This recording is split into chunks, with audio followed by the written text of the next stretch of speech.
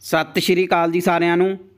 ਪੀ PTET ਦੇ paper ਨੂੰ ਲੈ ਕੇ ਬਹੁਤ ਸਾਰੀਆਂ ਅਫਵਾਹਾਂ ਚੱਲ ਰਹੀਆਂ ਸੀ ਕਿ ਪੇਪਰ ਆ ਜਿਹੜਾ ਪੋਸਟਪੋਨ ਹੋ ਜਾਏਗਾ 12 ਮਾਰਚ ਨੂੰ ਪੇਪਰ ਨਹੀਂ ਹੋਏਗਾ। ਪਰ ਹੁਣ ਐਡਮਿਟ ਕਾਰਡ ਹੈ ਜਿਹੜੇ ਉਹ ਆ ਚੁੱਕੇ ਹਨ। ਇਸ ਤਰ੍ਹਾਂ ਤੁਸੀਂ ਐਡਮਿਟ ਕਾਰਡ ਡਾਊਨਲੋਡ ਕਰ ਸਕਦੇ ਹੋ। ਉਸ ਵੀਡੀਓ ਵਿੱਚ ਮੈਂ ਦੱਸੂਗਾ। ਸਾਰੇ ਜਾਣੇ ਮੇਰੇ ਨੰਬਰ ਦੇ ਉੱਤੇ ਮੈਸੇਜ ਕਰ ਲਓ। ਉੱਥੇ ਤੁਹਾਨੂੰ ਲਿੰਕ ਮਿਲ ਜੂਗਾ। ਉਸ ਲਿੰਕ ਦੇ ਥਰੂ ਤੁਸੀਂ ਐਡਮਿਟ ਕਾਰਡ ਹੈ ਜਿਹੜਾ ਆਪਣਾ ਡਾਊਨਲੋਡ ਕਰ ਸਕਦੇ ਆ। ਠੀਕ ਹੈ? ਤੇ ਮੇਰਾ ਟੈਲੀਗ੍ਰਾਮ ਗਰੁੱਪ ਵੀ ਜੁਆਇਨ ਕਰ ਲਓ। ਇਸ ਗਰੁੱਪ ਦੇ ਵਿੱਚ ਮੈਂ ਜੋ ਐਡਮਿਟ ਕਾਰਡ ਡਾਊਨਲੋਡ ਦਾ ਲਿੰਕ ਹੈ, ਉਹ ਪਾ ਦੂੰਗਾ, ਠੀਕ ਹੈ? ਟੈਲੀਗ੍ਰਾਮ ਦੇ ਉੱਤੇ ਜਾ ਕੇ ਜੀਕੇ ਫੈਕਟਸ ਲਿਖ ਕੇ ਤੁਸੀਂ ਸਰਚ ਕਰ ਸਕਦੇ ਆ। ਬਾਕੀ WhatsApp ਦੇ ਉੱਤੇ ਮੈਸੇਜ ਕਰ ਲਓ ਮੈਨੂੰ ਨੰਬਰ ਸਕਰੀਨ ਦੇ ਉੱਤੇ ਆ ਰਿਹਾ ਹੈ। ਤੇ WhatsApp ਦੇ ਉੱਤੇ ਹੀ ਮੈਂ ਤੁਹਾਨੂੰ ਲਿੰਕ ਦੇ ਦੂੰਗਾ, ਠੀਕ ਹੈ? ਟੈਲੀਗ੍ਰਾਮ ਦਾ, ਤੇ ਟੈਲੀਗ੍ਰਾਮ ਦੇ ਵਿੱਚ ਮੈਂ ਲਿੰਕ ਪਾ ਦੂੰਗਾ।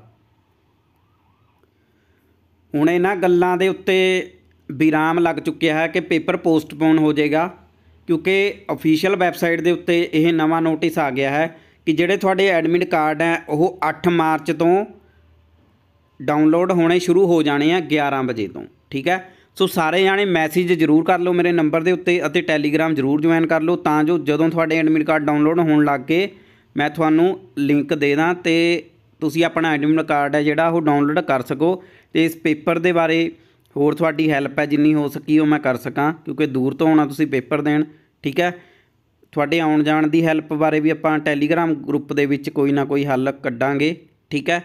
ਸੋ ਸਾਰੇ ਜਾਣੇ ਟੈਲੀਗ੍ਰਾਮ ਜੁਆਇਨ ਕਰ ਲਓ ਤੇ ਮੇਰੇ WhatsApp ਦੇ ਉੱਤੇ ਮੈਸੇਜ ਕਰ ਲਓ। ਪੇਪਰ ਪੋਸਟਪੋਨ ਨਹੀਂ ਹੋਏਗਾ 12 ਮਾਰਚ ਨੂੰ ਹੀ ਪੇਪਰ ਹੋਣਾ ਹੈ ਤੇ ਆਪਣੀ ਤਿਆਰੀ ਹੈ ਜਿਹੜੀ ਉਹ ਪੂਰੀ ਰੱਖੋ। ਧੰਨਵਾਦ।